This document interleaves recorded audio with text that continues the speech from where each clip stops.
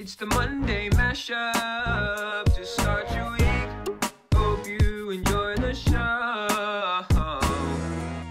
Good morning, Hartsville High. I'm Carson Byerly here with Sarah and Nancy Jane, and this is the Monday Mashup. Today we're at the Hartsville Museum. Come check out your local Hartsville history. Now for schools in session.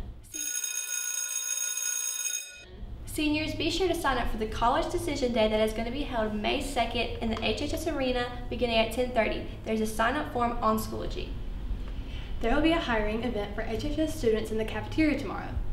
There will be a number of companies there, so be sure to visit the recruitment table during your lunch. Seniors, if you would like to be in the senior magazine, contact Ashley Gainey. Bring in a picture of yourself. Complete the two Google forms that Mr. Nelson posted on the student information group and bring in a picture of yourself to Mr. Nelson as well as emailing Ashley Gainey. EAC tutoring will begin this week for Algebra 1 students. Vote for your favorite teacher through Teacher Feature on Schoology. Now moving on to hot topics. So prom was last Saturday, and Carson, how was that? It was really good. The art class did a really good job of putting everything together. I really enjoyed it.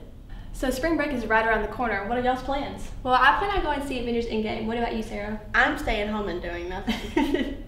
well, I might go see that with you then. Well, I've never seen the Avengers movies, but I saw the commercial and I think I might go see it. But I need to catch up. You it have to watch the movies. Well, I gotta I catch will. up. Well, yeah. you got all spring You know how long that's gonna take? Not long. I'm good at that. There's like probably over like ten or twelve of those movies. I'll just watch the one before this one. It's not gonna make sense. You don't know the storylines. Hmm. Okay. I guess I won't go see it. Well, I'll go see it with you, Carson. Good. Well, that's all today for the Monday Mashup. Thanks for tuning in. Stay Foxy Hearts High School.